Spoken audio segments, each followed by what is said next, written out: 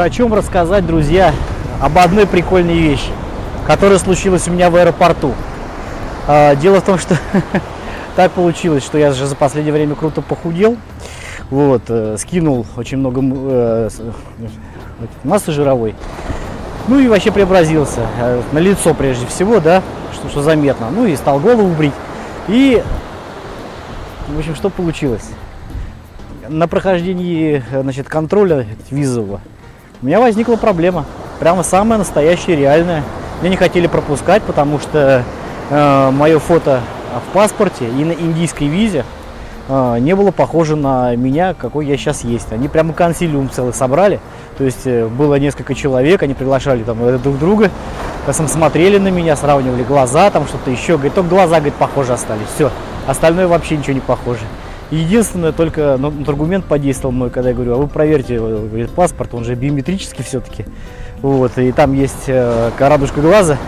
Они такие, видят, что если я это предлагаю сам, этого не боюсь, то проблем никаких нет. Ну и кроме того, у меня еще биометрический паспорт, там есть отпечатки пальцев. Вот, так что это можно проверить было. Все.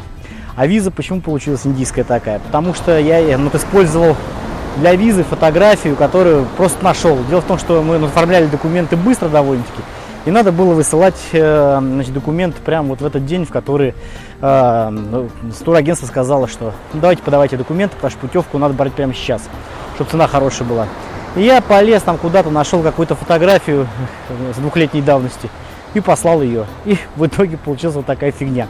Если время будет, то когда я монтировать подкаст этот буду, я вам просто покажу, как выглядит моя фотография в паспорте, на визе и э, в паспорте самом.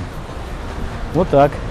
Так что, когда оформляете документы, а сами занимаетесь корректурой, то есть изменяетесь, обязательно следите за тем, э, чтобы актуальные фотографии были. Иначе я вот обратно вылетать буду, думаю, что опять проблем появится. Тем более, что мы сели в аэропорту военном. Ну, уж если запустили сюда, отсюда, наверное, выпустят. Потому что кому мы тут нужны нафиг? Ну ладно. Так что вот такой неплохой совет, я думаю. И вообще полезный.